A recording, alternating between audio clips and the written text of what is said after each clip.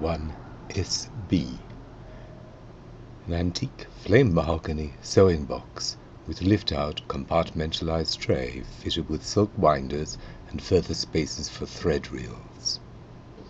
The tray is made from straight-grained pine. The inside of the lid is lined with blue silk.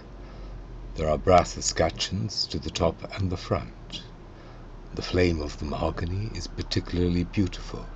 The box was made circa 1830.